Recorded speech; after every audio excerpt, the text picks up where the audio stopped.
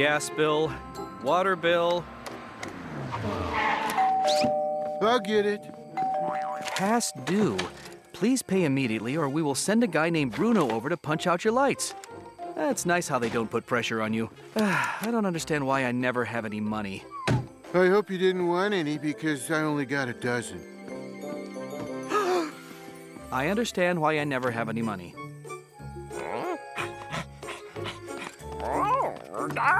What is it, Odie? Oh, that's the lottery ticket I bought. Yeah, yeah. Gee, wouldn't it be nice to win the 27 gazillion dollars? Think how wonderful life would be with that kind of money. What are you telling me, Odie? Oh, it's time for them to draw the winning lottery number. Oh, it's a big waste of time, but I might as well watch. In a moment, we'll be the winning number in this week's Super Mega Jackpot Lucky 7 Ultra Snazzy Lottery, which is worth 27 gazillion dollars. I shouldn't get my hopes up. Hmm. Let me see that ticket. The odds against me winning are astronomical. Still, it would be so wonderful. And now, here's the winning number. Give me my ticket back, Garfield. And the winning number is 7, 9, 4, 5, Oh, 0, oh, 6. ah, And the last number is. 3.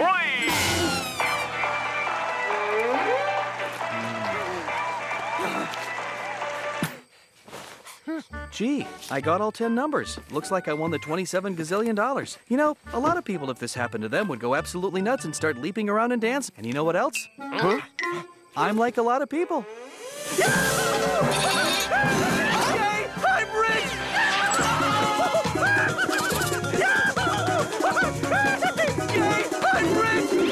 Shall we join him?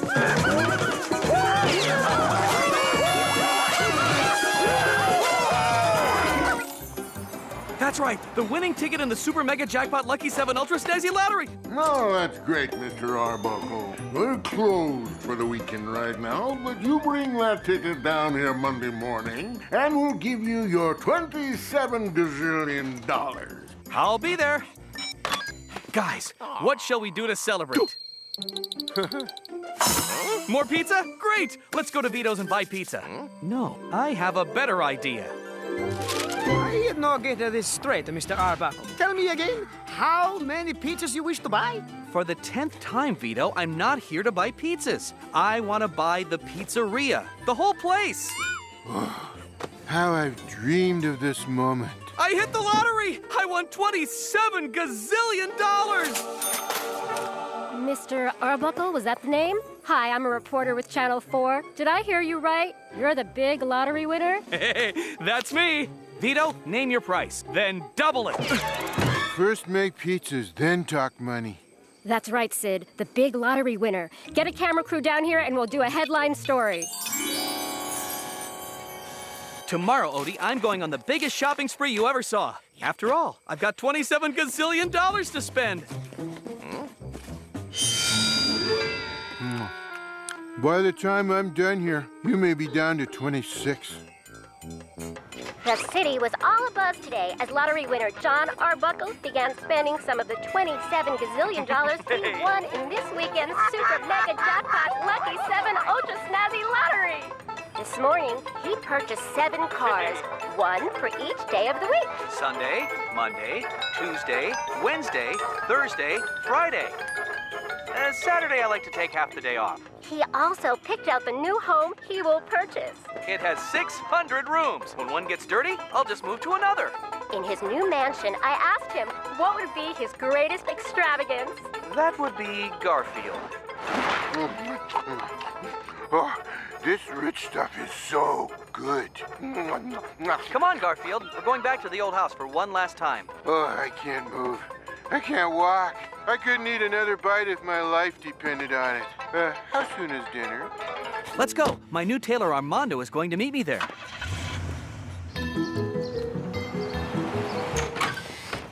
I'm not going to miss this house. Me neither. How about you, Odie?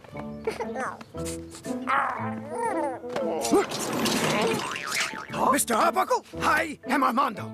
I'm a tailor. I am known as Armando the Tailor. Oh, come in, Armando the tailor. Odie, you can't be serious. You're gonna miss this house? Why? We're gonna live in a mansion with hot and cold running servants. We're gonna have a swimming pool, and like all rich people, we're never gonna go in it. Okay, so this house is the only home you've ever known. So, you think I'm gonna miss it? Miss my favorite corner to sleep in? Miss my favorite window screen to hang on? No. Think of the meal service in the new house. Like it, Mr. Arbuckle? Love it. I want 50 more outfits, Armando the tailor. Huh? Uh, excuse me. Mr. Arbuckle? Oh. What would you like me to do with your old clothes? Oh, throw them away. There's a trash can out front by the curb. Hello? Mr. Barker. Sorry to bother you at home on the weekend, Arbuckle, but I wanted to make sure you were working on those drawings I need. You what? I said I quit, Mr. Barker. Ugh. I don't have to work for you anymore. I'm rich. Monday morning, I turn in my winning lottery ticket here. My lottery ticket here. my lottery ticket. It's in that shirt I just told Armando the tailor to throw away. Arbuckle, Arbuckle, I can't stand employees who quit. You're fired. Stop! This is a catastrophe! Huh? Jon doesn't have catastrophes anymore. He's rich. I made it just in time. Stop! Stop that garbage truck! I need my old clothes back! No, you don't, Mr. Arbuckle. They were so out of style. My lottery ticket! It was in with these clothes! Oh, no.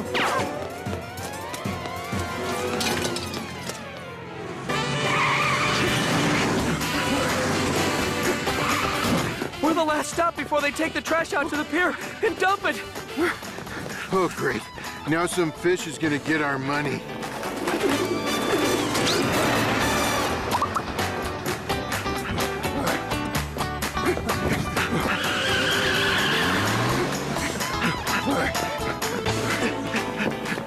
Can tell this is an emergency because I didn't stop for ice cream.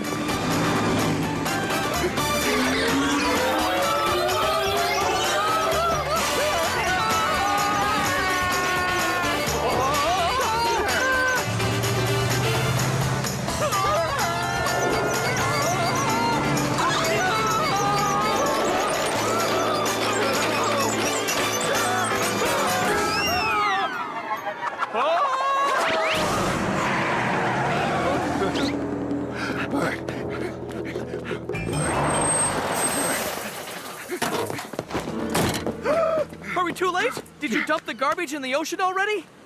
Oh, no. We don't do that anymore. You don't? Nah, it's bad for the environment. now we just burn it. Oh, that's the trash we just picked up. Makes a lot of nice smoke, don't it?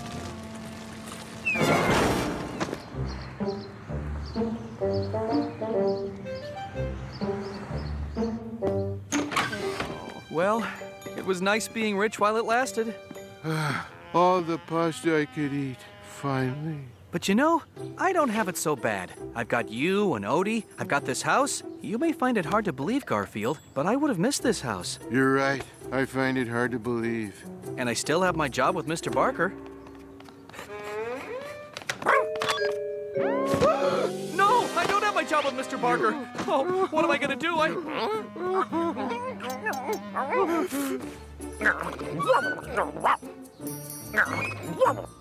Odie, I don't have time for whatever it is. I quit my job. I.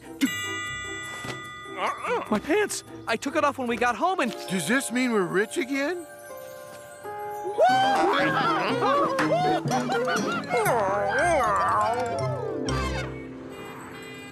Uh, just let me have the winning ticket, Mr. Arbuckle. I'd like the 27 gazillion in large bills, please. For a check made out to Vito's Pizzeria. The winning numbers were seven, nine, four, five, zero, six, three, and hmm. Wait a minute. What's wrong? Is something wrong? This last number on your ticket isn't a three. It's an eight. that was covered by a stain. It smells like it was pizza sauce. I'm sorry, Mr. Arbuckle. This is not a winning ticket. Excuse me. I think I have the winning lottery ticket. Yes, you do, ma'am. You win the 27 gazillion dollars. Oh, that's nice. Yeah.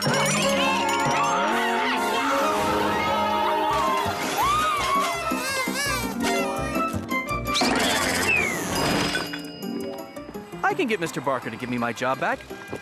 All it will take is a sincere apology. And begging. Oh, don't forget the begging. Well, guys, it looks like we lost 27 gazillion dollars. You know, a lot of people, if this happened to them, would go absolutely nuts and start crying and whining. And you know what else?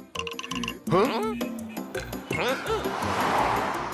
I'm like a lot of people.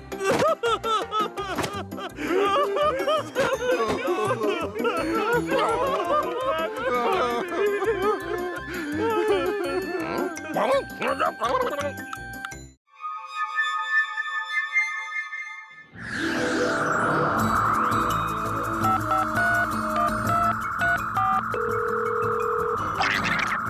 on my way to Gamma Quadrant 9, Murray. My generator bank is low. I need to find a place I can stop off for a day or two and recharge. Earth? What's to do on Earth? Most boring planet in the galaxy. Makes Trisector Blue seem like a Bleen festival, if you know what I mean. Well, I guess it'll do. I mean, it's on the way.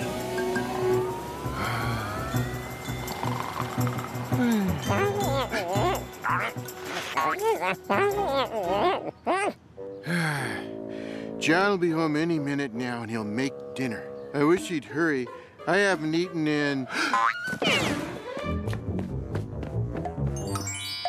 Two hours, 15 minutes, and three seconds. Four seconds. Five seconds. Here's Jon.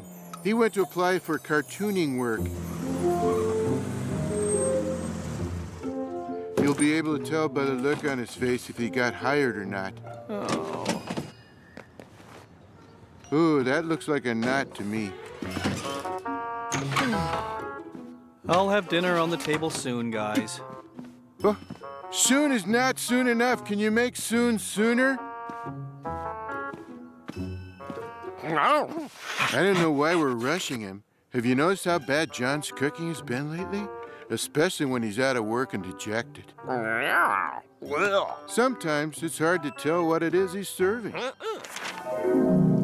What do you think it is, boy? Meat, fish, or pasta? Hmm. I'm thinking chicken chow mein or maybe chocolate pudding. Or both mixed together. I think I need an emergency hmm? banana. There must be somebody out there who wants to hire a cartoonist. Jon Arbuckle.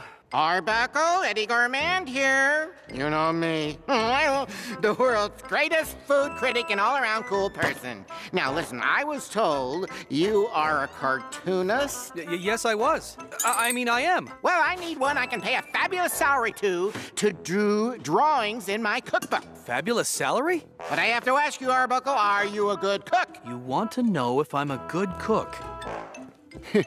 I have some thoughts on the matter. Well, yes, I'm an excellent cook. Those are not my thoughts. Tell you what, I'll come to dinner tonight at your house. If I like what you serve, the job and the fabulous salary are yours. You have my address? Mm-hmm. Good. See you tonight at 8. Garfield! I'm going to get a job with a fabulous salary! I knew you could do it. All I have to do is cook a great dinner. I knew you couldn't do it. Now, what do I need? Oh, ingredients! I have to go to the market and buy ingredients. Uh, see you soon! Even his bananas aren't that good.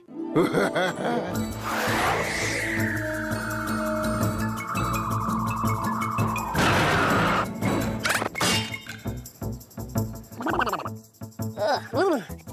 I forgot. They have gravity on this planet. Let's see what's around here. House! Trees? I better hide my spacecraft.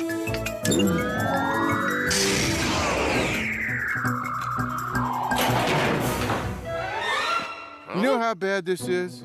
Even I won't eat it. You're darn right that's pretty bad. That smell. That smells just like the corrugated uranium my mother used to make. Oh, delicious. You like that, fella? Highly obese cat.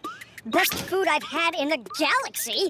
Well, if you want more, the dog's not gonna eat his either. Let me at it. You know, Odie, I've been hungry, but I don't think I've ever been that hungry. Let's see if Jon left any more of that stuff on the stove. The more of it our friend here eats, the less we'll have to finish. Mm, mm. Murray, I could get to like this Earth place if only it didn't have all this gravity. Yeah, gravity. Earth is lousy with it. We interrupt this Garfield cartoon to bring you this educational moment. Tell them not to worry, it'll be quick.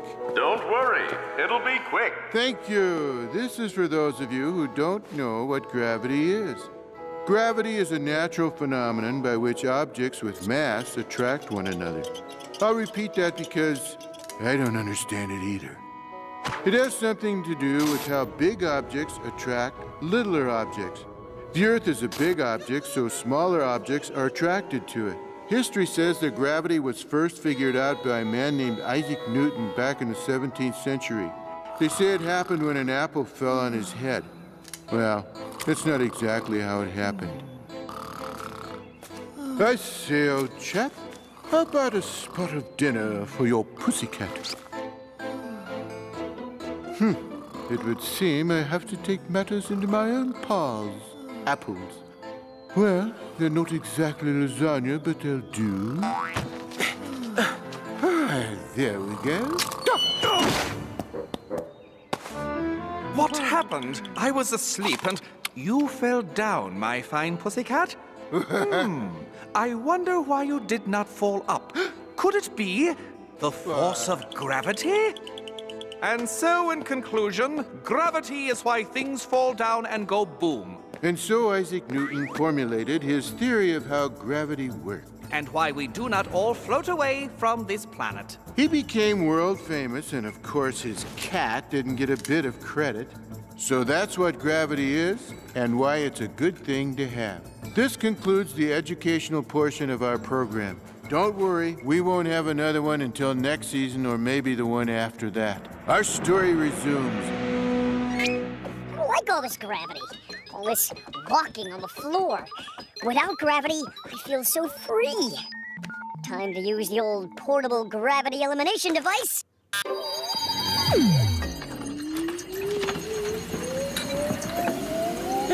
Great! This is just like home.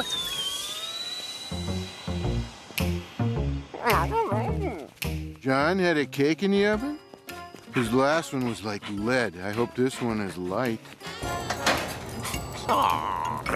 Hey, not bad.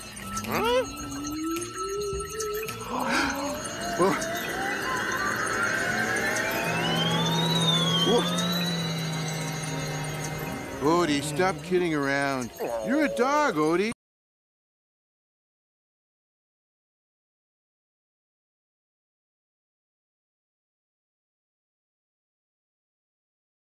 Around like that? Odie, is this one of those hokey dream sequences where we do on the show every once in a while? I don't either. Whoa. Hey, Odie, look. I'm not falling. Give it a try. Oh, I lost track of the time and spent too long at the market. I won't get home in time to cook Mr. Gourmand the great meal that will give me that fabulous salary. Maybe Garfield and Odie will entertain him until I get there.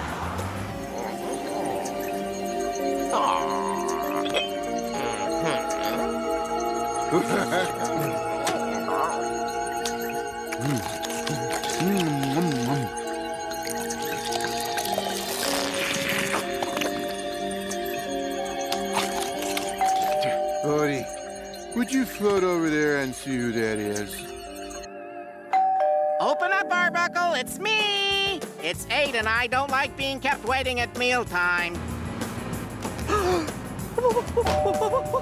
Oh no! Mr. Gourmand is here already! I'll run around and go in the back door.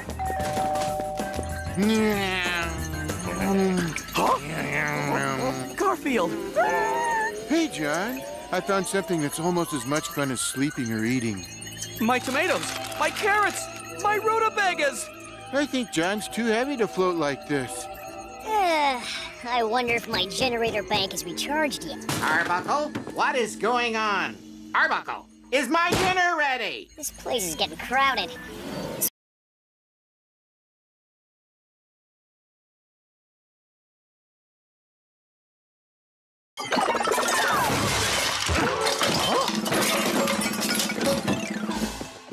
Oh, what a beautiful job of setting the table.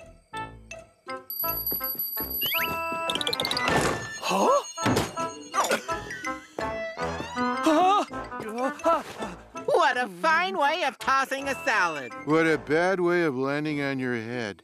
Oh, and look at this stir fry. I can already see how perfectly yummy it will be after you heat it up. Heat it up? Oh, yes, heat it up. I'm about to heat it up, Mr. Gourmand. Good. And I'll start on your splendid salad while you do. All charged up and ready to go. I keep telling you, Odie, I have no idea what happened. But I think I know who does. Hey, you! Yoo-hoo! I thought it might be you. What happened in the house? That was your doing. Guilty. Hope you enjoyed it. Hey, the food was great. If I come back someday, can I have that again? Can you make us float again? It's a deal. Bye. Bye. Whoa, that was amazing. I never would have believed it. No, not floating. Somebody liking Jon's cooking. Arbuckle, this is delicious. The stir fry is ready, Mr. Gourmand. Oh, and smells divine. You are so hired.